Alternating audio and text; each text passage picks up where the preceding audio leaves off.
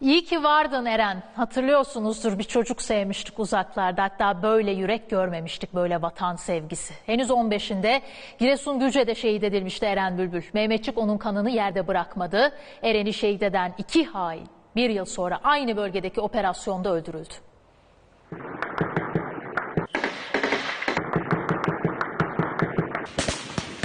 ...15 yaşındaki Eren Bülbül'ü şehit eden PKK'lılardı. Foto kapana takılan bu teröristler ikisi de öldürüldü. Al atışı. Bir. Haydi. İki.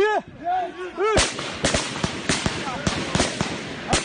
Teröristler gri listede aranan Soreş kod adlı Barış Coşkun ve Bahos kod adlı Hıdır Doğru... ...Giresun'un Güce ilçesindeki yaylalarda dolaşıyordu. Görüntüleri foto kapanlara düşünce hemen operasyon kararı verildi. Çembere alınan iki terörist yarım saat içinde öldürüldü.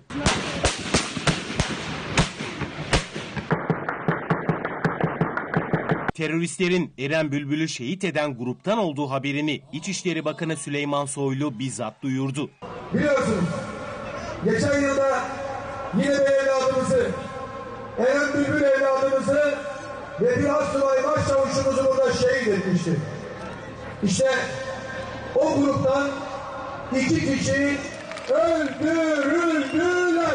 Süleyman Soylu Eren Bülbül'ün annesini de aradı. Haberi ona da verdi. Bakan aradı. Çok sağ olsun. Allah razı olsun onlardan. Orada vurulduğunu söyledi. İki kişi orada vuruldu Eren'in katili. Ama bu haber bile Ayşe Bülbül'ün acısını dindirmeye yetmedi. Eren'in katili yanımda vurulsa da ben onun etlerinden yesem gene, gene benim hıncım geçmez. Onun için benim acım, acımı hiçbir şey dindirmez.